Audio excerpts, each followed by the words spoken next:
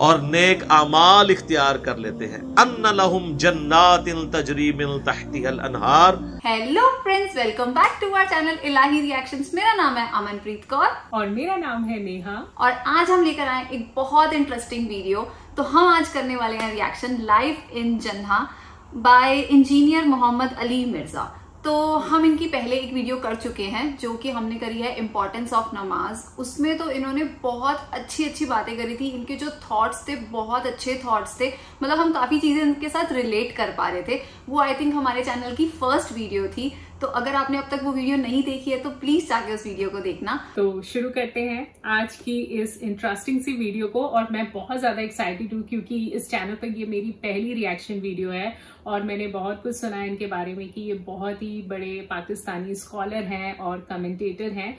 सो so, शुरू करते हैं आज की इस वीडियो को। तो चलिए शुरू करते हैं। आमनु और नबी इस्लाम आप खुशखबरी दे दीजिए उन लोगों को कि जो बात मान लेते हैं, यानी ईमान ले आते हैं और नेक आमाल इख्तियार कर लेते हैं। अन्न लहुम जन्नातिन तजरी मिन तहतिहल अनहार, कि उनके लिए बागात हैं जिनके नीचे नहरें बहती होंगी। कुल्लमा रुजिकू, जब कभी भी उन्हें रिस्क दिया जाएगा उस जन्नत में, मिनहा, उन बागों में से, मिन समरत रिज्का। कोई फल रिस्क की शक्ल में उनको जब पेश किया जाएगा, अहले जन्नत को जन्नत में जब कोई फ्रूट दिया जाएगा, कालू हादी रुजिकना मिन कबल। वो कहेंगे, ये तो वही है जो हमें इससे पहले दुनिया में भी दिया जाता था। वह उतूब ही मुतशाबिहा। हालाँकि वो उनको उससे मिलता जुलता फ्रूट दिया जा रहा होगा। एग्जैक्ट नहीं होगा। मिलता जुलता इसलिए दिया जाएगा कि इंसान की एक नेचर है। दुनिया में भी आप देख लें, आप किसी दस्तरखान पे बैठे हो तो सबसे पहले उस चीज़ को हाथ डालते हैं जिसके साथ आप मानूस हो। आप किसी वलीमे पे भी जाते हैं तो आपके सामने कोई ऐसी अजीबो गरीब डिश आ जाए तो आप उसके रिस्क नहीं लेते खाने का कि पता नहीं क्या जायका हो, उल्टा प्लेट भर के बैठ जाऊँ और इस दौरान जो मैंने खाना था वो खत्म ही हो जाए। ये भी चांस होता है ना। तो इंसान मानूस उस चीज़ के साथ था जो पहले उसने उसको एक्सपीरियंस किया हो। ये, अल्लाह ताला ने इंसान की नेचर रखी। तो जन्नत में भी इब्तदाई मेहमान नवाजी के तौर पे जन्नतियों को वो रिस्क दिया जाएगा जो दुनिया में वो एक्सपीरियंस कर चुके हैं। आम केला अनार सेब जो हमारे एक्सपीरियंस में। अब देखने में तो वो फ्रूट देखने में तो वैसा ही होगा तो वो खाने से पहले ही बात करेंगे कि तो ये वही चीज़ है। ਇੱਥੇ भी आके वही कुछ। लेकिन नज़र आएगा कि उनके, उसकी तरह का होगा, लेकिन वैसा नहीं होगा। अब अनवर अटोर का जायका और एक देसी आम का जायका, बराबर हो सकता है? देखने में तो दोनों एक जितने होते हैं। शक्ल सूरत भी मिलती जुलती होती है, लेकिन ज़मीन आसमान का फ़र्क है टेस्ट में। इसी तरीके से चौंसे का टेस्ट हो या किसी दूसरे आम आम का, वो बराबर नहीं हो सकता। तो ये तो दुनिया में अल्लाह ने इतना फ़र्क रखा हुआ है तो आखिरत में जो आम दिया जाएगा वो दुनिया वाला आम नहीं होगा। हाँ शक्लो सूरत में ज़रूर मिलता जुलता होगा। लेकिन उस आम की तो क्या बात है? अल्लाह ताला जन्नत में हमें अपने महबूब सल्लल्लाहु अलैहि वसल्लम का पड़ोस नसीब फरमाए। आमीन। वलहुम फीहा अजवाजुम मुतहहरा। और वहाँ पे होंगी उनके लिए पाकीजा बीवियाँ। पाकीजा बीवियाँ दुनिया की बीवियाँ भी और जन्नती हूरें भी वो आगे चल के ज़िक्र आ जाएगा इस हवाले से। अच्छा जन्नत में जितनी भी नेमतें हैं ना उनमें जो यानी डोमिनेट नेमतें हैं उनका कुछ ना कुछ हिस्सा अल्लाह ने दुनिया में इस हवाले से रखा है कि इंसान उस नेमत को एक्सपीरियंस कर सके। लेकिन उस ज़मीन आसमान का फ़र्क है। आ, लेकिन किसी दर्जे में एक्सपीरियंस करवाया गया। और एक्सपीरियंस करवाया गया है तो तभी उन चीज़ों में अट्रैक्शन है। अगर अट्रैक्शन नहीं होगी तो उसके लिए तको दो कौन करेगा? तो इसी तरीके से यानी जो एक अल्लाह ताला ने सेक्स का जज्बा रखा है इंसान के अंदर उसका एक्सपीरियंस दुनिया में किसी फॉर्म में करवाया तभी जन्नत की हूरों का लालच दिया जा सकता है। और इसी तरीके से जो फ्रूट है उसका जायका दुनिया में रखा है जब भी जन्नत के फ्रूट का आपको लालच दिया जा सकता है। बाकी तो बुखारी मुस्लिम में हदीस है कि अल्लाह ताला ने जन्नत में वो नेमतें तैयार कर रखी हैं जो ना किसी आँख ने देखी, ना किसी कान ने सुनी, ना कभी किसी के दिल पे भी उसका गुमान हो। वो तो अनइमेजिनेबल ये सिर्फ़ मुतशाबहात हैं चीज़ें मिलती जुलती चीज़ें दुनिया में, सिर्फ़ बात समझाने के लिए।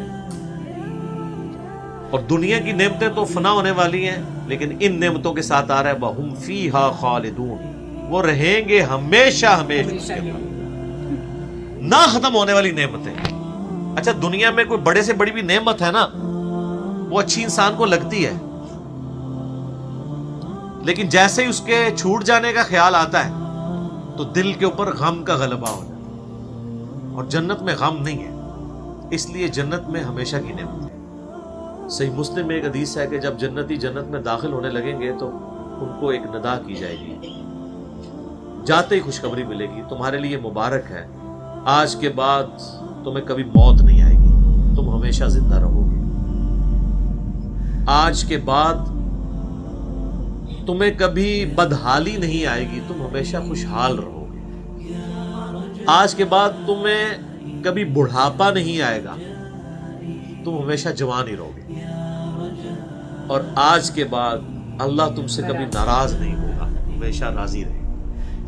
यानी दुनिया में तो सबसे बड़ी अहले ईमान के लिए टेंशन ही यही है ना कि मैंने ये किया तो नाराज़ ना हो जाए। जन्नत वो जगह है जहाँ कुछ भी कर लें अल्लाह नाराज़ नहीं होगा। हर वो चीज़ आई जन्नत में तभी। जो दुनिया में भी जुर्म थी वहाँ जाके वो जुर्म नहीं रहेगी। दुनिया में मर्द के लिए सोना पहनना हराम है और जन्नत में सोने के कंगन पहनाए जाएँगे। रेशम का लिबास बनाया जाएगा, कुरान पाक में आता है, बुखारी, मुस्लिम में। दर्जनों हदीस हैं, जिसे शौक हो तो मिशकातुल मसाबी की तीसरी जिल्द में जन्नत वाला चैप्टर पढ़ लें। तो आपको अंदाज़ा होगा कि जन्नत में अल्लाह ताला ने क्या कुछ रखा है इंसान के लिए। लेकिन ये बात अपनी जगह है, एक हकीकत है कि जन्नत पहुँचना बड़ा मुश्किल है। ये सबसे बड़ा अलमिया है। ये तो बाबों ने आपको एक खुदा का तारुफ करवाया ना कि जन्नत तो अपनी जेब ही चाहे। किताबें ये नहीं बताती। किताबें कुछ और ही बताती। सही मुस्लिम में हदीस है कि अल्लाह ताला ने जन्नत को नागवार चीज़ों से ढांप रखा है। यानी जन्नत तक पहुँचने के लिए कई नागवार चीज़ों से आपको गुजरना पड़ेगा। फिर जन्नत आएगी। और जहन्नम को अल्लाह ताला ने खुशनुमा चीज़ों से ढांप रखा है। यानी हर अट्रैक्टफुल चीज़ दोजख की तरफ़ लेके चली जाए नागवारी तो है ना। यानी रोज़ाना पाँच वक्त नमाज़ पढ़ना दुनियावी तौर पे एक तरद तो है। सर्दियों में वज़ू करना एक तरद तो है। गर्मियों के रोज़े रखना एक तरद तो है। हलाल और हराम का फ़र्क करना एक तरद तो है। और दूसरी तरफ़, आप जो अपनी मर्ज़ी के मुताबिक कोई भी काम करते जाए, वो सीधा आपको दोजा की तरफ़ ले जाएगा, जो आप अपनी मर्ज़ी से करेंगे। और जो अल्लाह की मर्ज़ी से करना पड़ता है, उसमें तरद तो है। ज़रा नफ्स के खिलाफ है। ये मुस्लिम शरीफ की हदीस कमाल हदीस है कि जन्नत नागवार चीज़ों से ढांपी हुई है और जहन्नम खुशनुमा चीज़। इसकी एक्सप्लेनेशन जाम तिरमजी में सुनबी दाऊद में, सुनन निसाई और इबन माजा में है कि जब अल्लाह ताला ने जन्नत को पैदा किया तो हज़रत जबरील इस्लाम से कहा कि जाएँ जन्नत को जाके विज़िट करें कि मैंने कैसी रहने की जगह बनाई है। जब हज़रत जबरील इस्लाम जन्नत गए और उसकी खूबसूरती देखी। तो अल्लाह ताला ने कहा कि जबरील कैसा पाया जन्नत को? अल्लाह तेरी इज़्ज़त की कसम कोई बंदा ऐसा नहीं होगा जो इसमें जाने के लिए जान धड़ की बाजी ना लगा दे। क्या ज़बरदस्त जगह तूने बनाई है? अल्लाह ने फरमाया अच्छा अल्लाह ताला ने जन्नत को नागवार चीज़ों से ढांप दिया मुस्लिम शरीफ की हदीस क्या बात और कहा अब जाके जरा जन्नत को देखो। जब वो देख के आया तो उन्होंने कहा, तेरी इज़्ज़त की कसम, मुझे नहीं लगता कोई बंदा जन्नत में जाने में कामयाब होगा। इतना मुश्किल है। सर, ये है किताबों का खुदा। यहाँ कहते हैं, नहीं जनाब, एक दफ़ा भी पढ़ लिया। एक दफ़ा भी पढ़ लिया। एक फेरे ही लगेगा। और सूर्य फुरकान में अल्लाह माता है कि जहन्नम हमेशा रहने के लिए भी बुरी जगह है और एक लम्हे के लिए रहने के लिए भी बुरी जगह आप लाख कहते रहे कि फेरा लगे अच्छा ये फेरा भी इसलिए हम कहते हैं कि हमने कभी इस फेरे को इमेजिन नहीं किया। आपको इधर बैठे बैठे इमेजिन करवा देते हैं। अगर किसी शख्स को ये कहा जाए कि एक फजर की नमाज़ छोड़ने पे आपको फजर से जोहर तक एक ऐसे कमरे में वक्त गुजारना पड़ेगा, जो 10 बाई 10 फीट का होगा उसमें 100 कोबरा सांप होंगे 100 बिच्छू होंगे 100 अजदेहे होंगे। लेकिन सिर्फ़ फजर से ज़ोर तक बस। तो कोई इमेजिन भी कर सकता है सोच के भी डर वो इन सांपों को तो आप मार भी सकते हैं। जहन्नम के सांप के बारे में कोई सोच भी सकता है। क्योंकि हमने इमेजिन नहीं किया होता इसलिए एक फेरे की बात करते हैं। और ये तो बहुत बड़ी मैंने मिसाल दी है। अगर किसी शख्स को कहा जाए ना कि फजर की नमाज़ छोड़ने पे फजर से ज़ोर तक आपको सिर्फ़ एक मोमबत्ती का वो छोटा सा जो फ्लेम होता है ना उसके ऊपर यूँ हाथ रखना पड़ेगा। फजर से ज़ोर तक। सर दस सेकंड नहीं को रख सकता। तो ये कहना आसान है फेरे वाली बात। वाह यार वाह। क्या वीडियो थी। मतलब मज़ा आ गई। बहुत बहुत बहुत अच्छी वीडियो क्योंकि क्या था कि उन्होंने बहुत ही पीछे जो म्यूज़िक चल रहा था बहुत लाइट बहुत प्यारा सा म्यूज़िक साथ में वो अपना समझा रहे थे कि कुरान में क्या लिखा हुआ है और उसके बाद उसको हिंदी में ट्रांसलेट करके हमें समझा रहे थे हिंदी पंजाबी। बिल्कुल बिल्कुल। और अच्छा उन्होंने जो भी जन्नत के बारे में बातें बताई वो इतनी ज़्यादा बाकमाल थी कि सुन के ऐसा लग रहा था कि बस वो बोलते रहे और हम सुनते रहे। और कुछ ऐसी बातें जो उन्होंने बताई कि किस तरीके से उन्होंने जन्नत को ढका हुआ है तो वाकई में बहुत तारीफे लायक बातें थी। तो सबसे अच्छी चीज़ मुझे ये लगी कि उन्होंने कंपेरिजन बहुत अच्छे किए जैसे उन्होंने फ्रूट्स बताया सो दैट कि एक आम इंसान भी उस चीज़ को समझ पाए। समझ है ना? जैसे कई बार हमें लोगों को समझाने के लिए मुश्किल हो जाता है कि क्या है कैसे है पर चलो अब ये तो एक छोटा बच्चा भी समझ सकता है। अगर 10-15 साल के बच्चे को भी ये वीडियो दिखाई जाए और समझाई जाए तो वो बच्चा भी समझ सकता है कि मतलब वो क्या बताना चाह रहे हैं क्या समझाना चाह रहे हैं।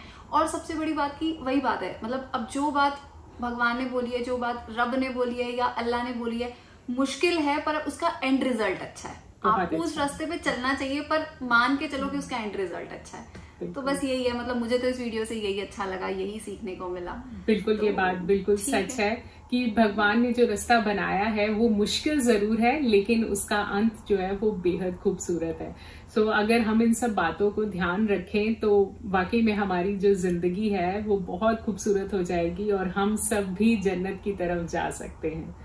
सो मुझे तो ये वीडियो बहुत पसंद आई। और अगर आपको भी अच्छी लगी होगी और हमारा रिएक्शन साथ में अच्छा लगा होगा तो प्लीज़ वीडियो को लाइक करके जाना। और अपने थॉट्स हमें कमेंट सेक्शन में बताना कि आपको कैसी लगी और आप और ऐसी कोई वीडियोस देखना चाहते हैं कुछ आपके रिकमेंडेशन हो प्लीज़ हमें कमेंट सेक्शन में बताना।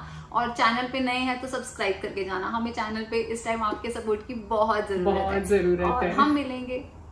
आपको और हम मिलेंगे नई वीडियो के साथ। Good bye